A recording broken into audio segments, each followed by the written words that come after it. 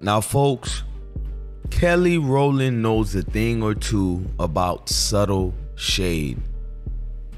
Now, I don't know why this old drama is coming back up, but I'm noticing it's trending again. Back in 2019, a South African radio host dropped a tweet by saying Kelly Rowland is ugly without makeup. Now, it's her opinion, but talk about an opinion that couldn't be far more than reality because I don't know if you guys have seen Kelly Rowland with makeup or not. She's gorgeous. I gotta keep it a buck. She's gorgeous. But Mdoa, Mdoda, whatever her name is, the South African radio host, back in 2021, that's two years later after 2019, she stirs up the issue and stands on the fact that, hey, my opinion is my opinion and Kelly Rowland is ugly. This time she didn't say without makeup. She just said Kelly is ugly.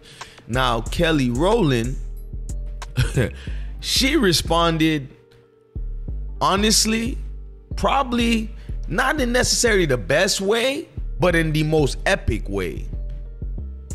She, I guess, strolled through the radio host social media accounts Maybe she even had a personal assistant do that for her, but she wore the same outfit, beachwear that is, that the radio host wore while out on the ocean on a boat. And basically had a side by side comparison. And man, it ain't even close, man. Homegirl looked crazy. Now, I will say this, Kelly, I don't think you ever got to respond to things like that. It's neither here nor there. And me personally, I was about to go down the rabbit hole with what I thought about this African host from South Africa because I know a thing or two about a lot of foreign blacks from other countries and how they view darker toned women and men. And Mind you, the radio host is not necessarily light skinned, but she's of the lighter tone. And a lot of them women and men, especially the women, they view themselves as beautiful despite how her you know physical features appear to be.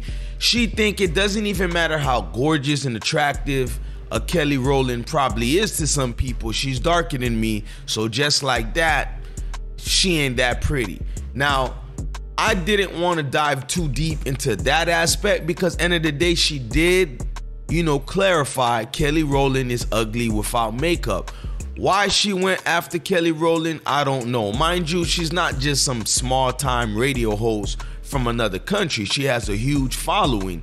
So yeah, it caused a stir, but for whatever reason, it just started to jump right back again and it's like, damn, they going in on this woman one of my favorite responses was this Twitter user saying, Now, why would Anthony Anderson call Kelly Rowland ugly?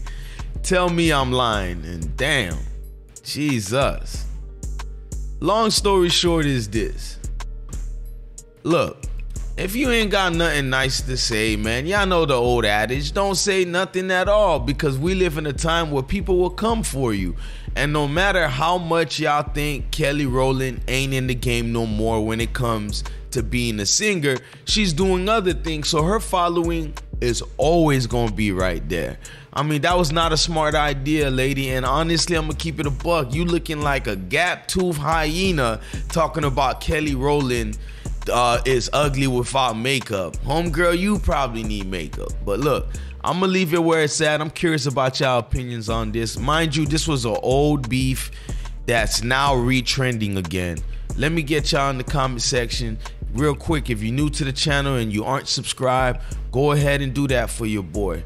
If you're looking for something to, you know, spark your interest, scroll through my channel and check out other videos I got. But look, this was kind of stupid to be retrending again because this is not what you want to be known for if you're a you know she i wouldn't say a lister artist right now in terms of celebrity status but she's at least a b or higher i'm talking about kelly you don't want things like this circulating again because then it makes it look like you know you on some petty level stuff you know it's old, let it go. But for whatever reason, it's retrending again.